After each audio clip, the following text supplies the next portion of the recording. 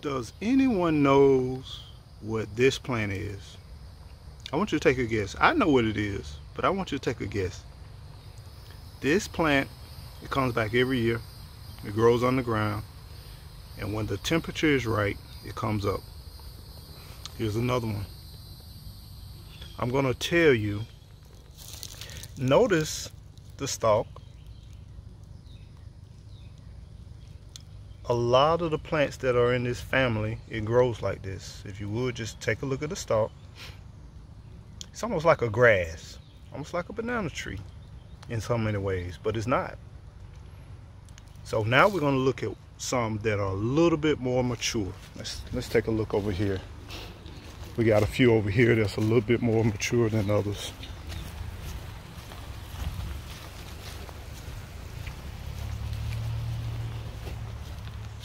Now these are them once they have gotten a little bit larger, okay?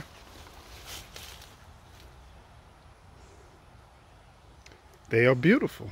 And I love these because it gives you that tropical look. But do you know what they are? Here's the stalk. And this one is about five foot tall, five feet tall. So these are the same plants. Do you know what they are? Put it in the comments below. Do you know what they are? They are in a family of plants. And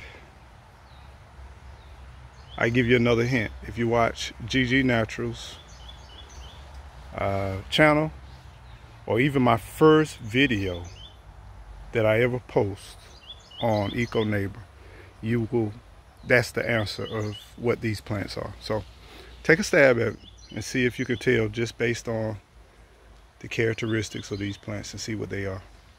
Comment below. Be blessed.